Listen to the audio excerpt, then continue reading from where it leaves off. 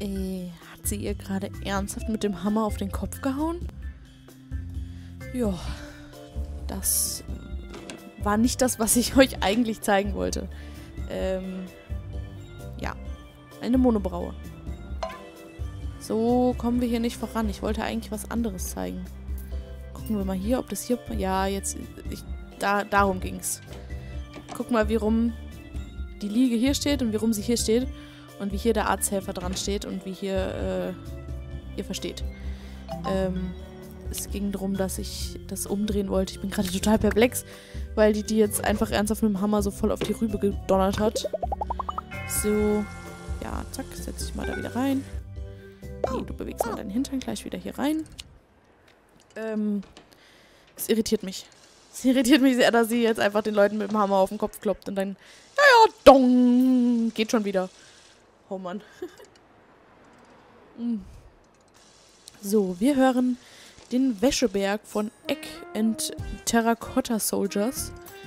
Ähm, Besuch des Gesundheitsministers, ja, ist in Ordnung, der kommt. Und wir, der Hausmeister möchte weitergebildet werden. Können wir natürlich machen. Ähm, Ausbildungstraining, äh, Ausbildung, Ausdauertraining meine ich. Emotionale Intelligenz, Zufriedenheit, Motivation, erhöht Tempo und Effizienz. Ähm, ja, Mechanik. Instandhaltung. Ja, ich denke, Instandhaltung ist immer gut. Ähm, wir packen auch hier direkt mal noch jemanden hinzu und machen. Hm, ja, wir machen jemand externes, damit die anderen zwei weiterarbeiten. Aber dann bilden wir direkt zwei gleichzeitig weiter. Ich denke, das ist ganz praktisch. Ich denke, das ist sinnvoll. Ob das so stimmt, weiß ich nicht, aber es ist meine Theorie. Ja, der Gesundheitsminister ist da. Was tun wir? Theoretisch. Theoretisch brauchen wir noch eine Arztpraxis. Und ich frage mich gerade, ob die hier hinten hinpassen würde. Nur mal so ganz... Oh, shit. Ähm, ob die ganz hypothetisch hier hinpassen würde. Und sie tut's. Sieht natürlich kacke aus, weiß ich selbst, aber ich könnte natürlich... Hm. Hm, hm, hm. Ich könnte, ich könnte, ich könnte. Ich könnte es natürlich so machen. Dann haben wir hier wie so einen kleinen Flur. Setze die Flensleys um. So. Und mache jetzt quasi die Tür hier vorne hin. So ging's. Wäre jetzt nicht die optimalste Optimallösung. Aber es würde auf jeden Fall funktionieren. Sagen wir mal so. Es ginge. Hier ist jetzt eh nicht so viel los. Dann ziehen wir die Pflanze auch noch ab, tun die hier rüber kriegen wir hier einen ganz guten Durchgang, würde ich mal behaupten.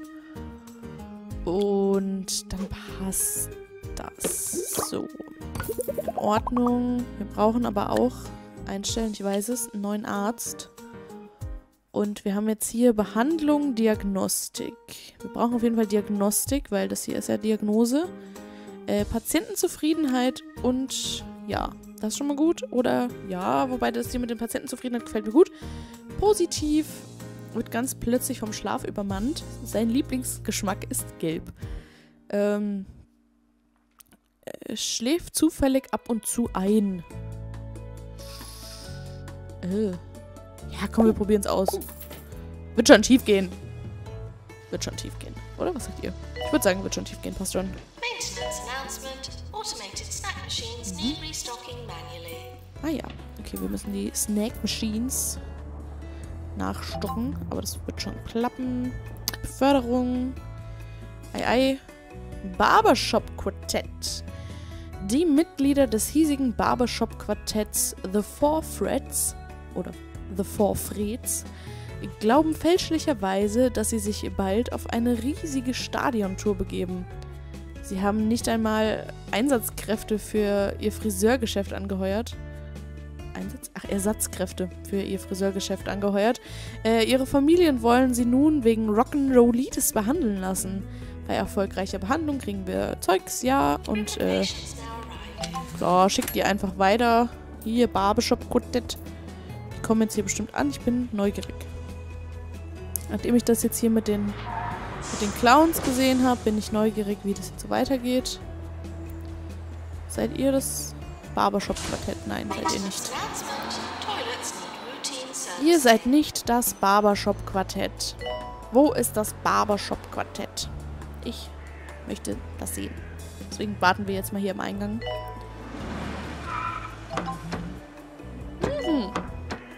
Da kommen sie auch schon. Aus dem kleinen roten Auto. Und stapfen direkt hier weiter rüber zur Psychiatrie. Wo ein Psychiater fehlt. Wo ist der? Hier. Du hast genug Pause gemacht. Geh zurück an die Arbeit. Ups. Brav.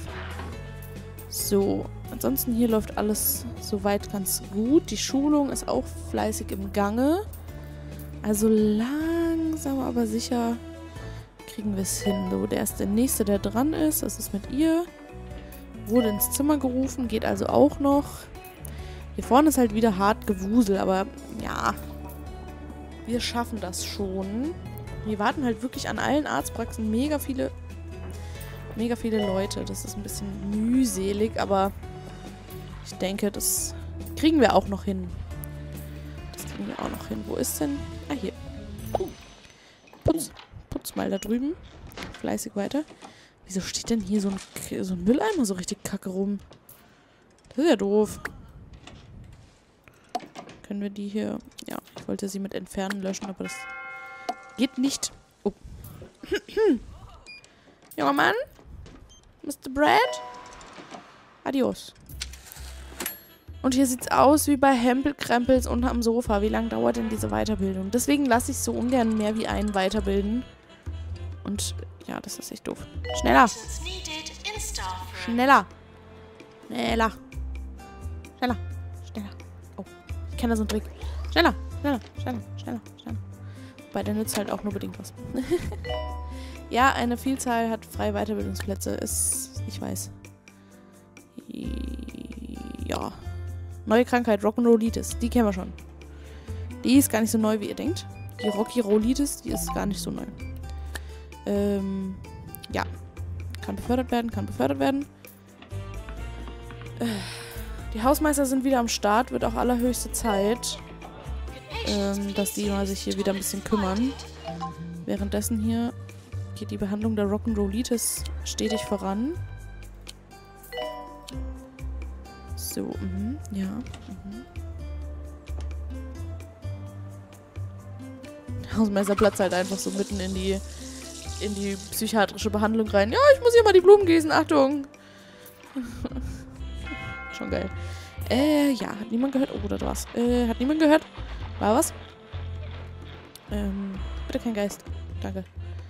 Und hier, ja, ich, mir bleibt ja nichts anderes übrig. So, ich habe hier was vergessen, die da, ne? Ja, und die auch. Hier ist ein Geist. Kann bitte jemand den Geist, ähm, vielleicht? Danke. Heile 20 Patienten. Ja, wir probieren's. Kennt das ja schon. Befördern tun wir auch. Wir versuchen unser Bestes an jeder Stelle. Äh, Beförderung, ja, können wir auch befördern. Befördern einfach alles. Und wir stellen noch einen Hausmeister ein. Ich glaube, wir brauchen tatsächlich noch einen Hausmeister. Äh, hier, Mechaniker und Geisterjäger engagiert. Definitiv engagiert. Definitiv hier engagiert. Ähm, Nein, du sollst den Geist jagen. Und ich möchte Peng. Hab da doch was kräuchen und fleuchen sehen. Hihi. Die Dinger sind enorm cool. Enorm cool. Bring, bring. Sondermeldung. Wir haben alle vier Patienten geheilt. Sehr gut.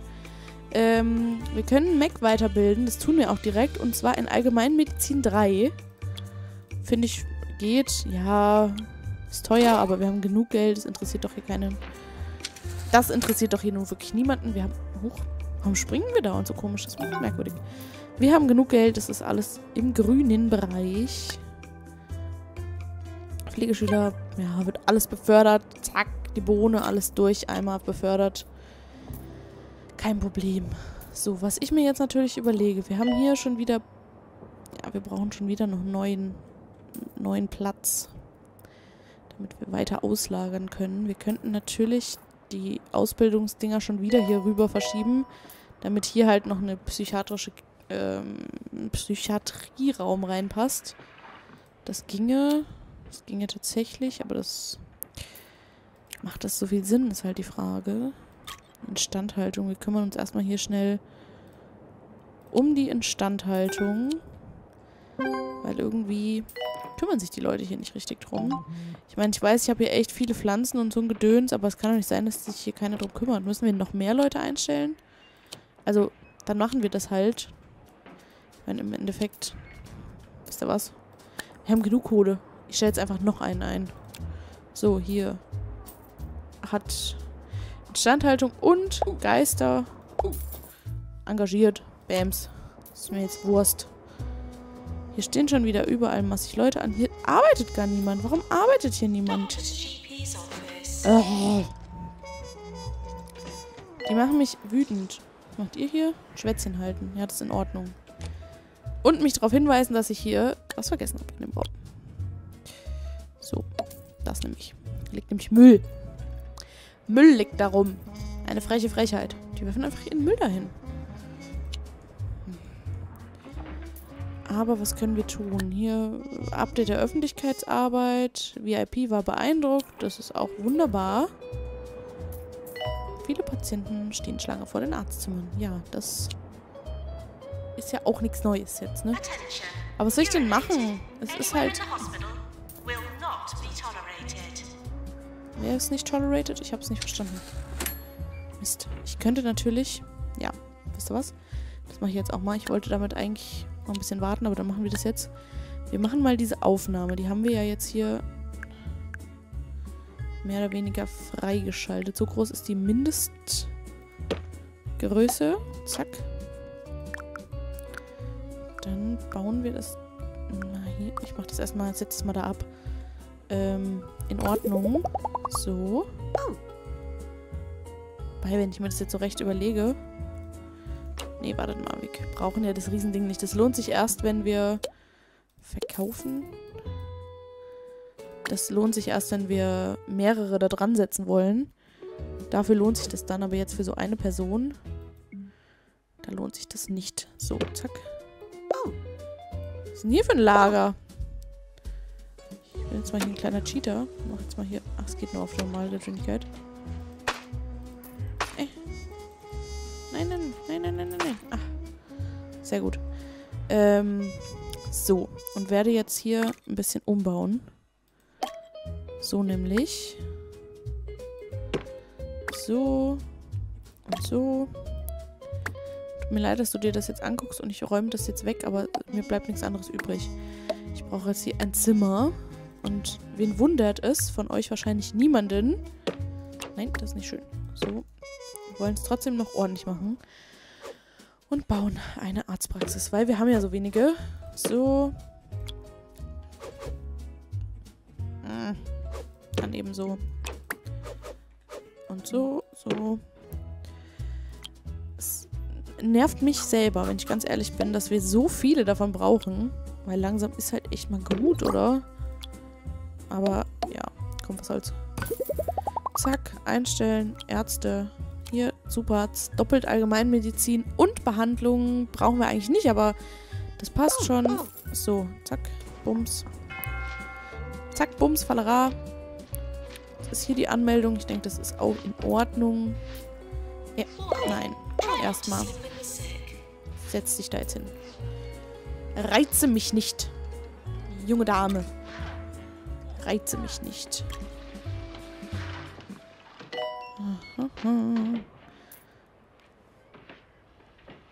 Wer weiß. Wer weiß, wer weiß, wo uns das hier noch hinführt. Überall sind hier schlechte Nachrichten und... Na. Spritziges Ende. Ja, danke Musik. Sogar die Musik unterstreicht hier unser... unser Können noch. Drücken wir es einfach mal so aus.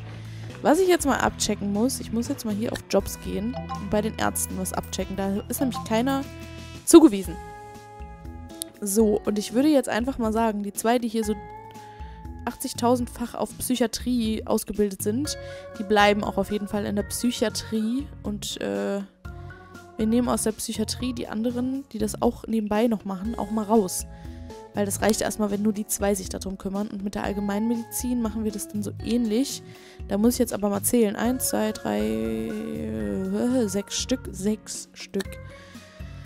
Sechs Allgemeinmediziner. Das wäre einmal hier eins, einmal hier zwei, mm, hier drei. Ja, du nicht. Jetzt haben wir nur drei. Dann du, vier. Zwei, drei, vier. Was haben wir denn jetzt noch? Mhm, mhm. Behandlung. Ne, Behandlung ist ja eigentlich doof. Behandlung ist. Ja, Diagnostik. Du bist auf jeden Fall auch mit drinne. Drinne, drinne. Dann werdest du raus. Du bist auf jeden Fall drin und raus. Lalala. Was haben wir denn? 1, 2, 3, 4, 5. Jetzt haben wir nur 5. Also einer fehlt noch. Wir haben jetzt hier Behandlung und Patientenzufriedenheit. Äh, Behandlung und Psychiatrie. Du bist schon drinne? Ja, gut. So viele Möglichkeiten bleiben uns nicht. Also entweder Psychiatrie oder Patientenzufriedenheit und dann nehmen wir den hier. Ähm, das ist ja okay. Und jetzt haben wir hier... Ist jetzt tatsächlich nur noch einer übrig für die beiden Stationen. Sehe ich das jetzt richtig? Warte mal. 1, 2, 3, 4, 5, 6. Jawohl. 1, 2 für die Psychiatrie. Und einen, der sich die anderen beiden teilt. Aber da die alle hier drüben in dem Komplex sind und nicht so viele brauchen, denke ich, reicht das erst einmal aus. Hoffe ich zumindest. Ich bin mir nicht so sicher, aber in meiner Theorie klingt das jetzt echt gut. In meiner Theorie klingt das sogar sehr gut, aber ja, ihr wisst, ob das jetzt wirklich so ist, kann ich euch nicht so wirklich beantworten. Äh, schwer zu sagen. Aber was ist denn mit dir jetzt? Du musst in die Arztpraxis und setz dich mal vor, bevor der uns auch noch wegstirbt. Das ist nämlich nicht gut für unseren Ruf, wobei der ist großartig. Wie auch immer wir das geschafft haben. Ich weiß es wirklich nicht. Ähm, ja, wir müssen Mitarbeiter weiterbilden, aber das würde ich jetzt erstmal aufschieben. Die Beförderung lassen wir mal durchgehen, damit die jetzt alle hier happy sind und uns nicht, äh, ja, verärgert sich ins Pausenzimmer setzen. Ach, Gottchen. Gottchen, Gottchen. Befördere Mitarbeiter haben wir auf jeden Fall schon mal geschafft. Die Personalstimmung, ja, da lässt sich noch ein bisschen was dran machen. Die Krankenhausstufe haben wir tatsächlich fast. Also wenn wir jetzt hier noch irgendwas bauen würden, würden wir das auf jeden Fall erreichen. Mitarbeiter weiterbilden kommt dann noch. Was mir jetzt, was ich mir gerade überlegt habe, wir könnten natürlich hier nochmal jemanden einstellen. Ähm, ja, zum Beispiel hier, wobei es ist wieder Behandlung. Ich möchte ja, hier, ah, hier. Du bist doch super. Diagnostik. Äh, und Dingsbumsi, zack. Ich stell die mal ein, die kann ein bisschen pendeln. Ich denke, das ist ganz gut. Äh, damit es hier nicht zu Stau kommt, weil hier stehen, hier stehen fünf an, hier stehen fünf an, hier unten stehen sechs an. Also hier stehen mega, mega viele Leute einfach vorne an diesen Arztpraxen an. Das macht mich ein bisschen nervös, dass hier so viele in den Arztpraxen anstehen. Aber ich denke, das ähm, ist vielleicht normal. Ich hoffe es zumindest. Ich hoffe wirklich sehr, dass das normal ist. Ansonsten weiß ich halt auch nicht, was ich tun soll. Ähm, ja. So, ich halt einfach mal, dass ich mich jetzt hier drum kümmere, dass die Leute, denen es eh schon schlecht geht, dass die ein Stück vor in den ähm, Wartebereichen kommen, also in den Warteschlangen. Da kann ich mich ein bisschen drum kümmern, aber ansonsten neue Krankheit, Kopfsalat entdeckt. Oh, es passieren noch neue Dinge. Ähm, unsere Ärzte haben eine neue Krankheit entdeckt: Kopfsalat. Der Patient ist völlig perplex, wird häufig durch Konfrontation mit neuen Informationen hervorgerufen, die ein völliges Umdenken erfordern. Nach eingehenden Analysen dieses Zustandes haben Wissenschaftler folgende Gleichung aufgestellt, äh, aufstellen können. Verstand gleich erschüttert. Wow. Äh, leider hat diese Gleichung sich als völlig nutzlos herausgestellt. Ja, sehe ich ähnlich. Der Patient wird in die Psychiatrie überwiesen. Oder halt, beziehungsweise hier rüber geschickt. Wir können jetzt natürlich hier mal ein Auge drauf halten. Wer genau das ist. Bist du das? Nee, du bist hier angestellt. Hupsala. Auf jeden Fall jemand, der jetzt hier gleich in Richtung Psychiatrie kommt. Ich kann ja mal ein bisschen vorspulen. Das ist ein Hausmeister, der wird es auch nicht sein. Die Wege sind halt echt lang. Du vielleicht? Diagnose benötigt? Nee. Die... Ah, haben wir nicht geschafft, okay. Die Wege sind halt echt lang. Also von der einen Seite hier ganz hier rüber und hin und her. Aber wie sollen wir es denn sonst machen? Also es, es erschließt sich mir keine sinnvollere Möglichkeit, wie wir es anders aufbauen könnten. Wenn ihr irgendwelche Tipps habt und so weiter, ne, ihr wisst das, ich nehme die sehr, sehr gerne entgegen. Schreibt es einfach unten in die Kommentare, ich bin da immer sehr dankbar für. Ähm, ja. Und an dieser Stelle würde ich jetzt mal sagen, die weiteren Aufgaben bis zum dritten Stern, die überlassen wir dann mal der Zukunftsmelodia. Ich mache jetzt mal eine Aufnahmepause und mache mal noch ein paar andere Dinge. Ähm, unter anderem wahrscheinlich eine kleine Pause und nehme dann noch ein anderes Spiel auf. Müssen wir mal schauen, ob das dann die Tage noch mit auf den Channel kommt oder ob es noch ein bisschen länger dauert. Mal schauen, lasst euch einfach überraschen. Und wie gesagt, wenn ihr Feedback oder sonstige Sachen habt, schreibt es gerne unten in die Kommentare. Falls ihr es noch nicht gemacht habt, äh, ich wollte eigentlich nicht so viel Werbung machen, aber falls ihr es noch nicht gemacht habt, wäre es lieb, wenn ihr mich abonnieren könntet. Würde ich mich sehr freuen. Und ja, dann bis zur nächsten Folge. Tschüss!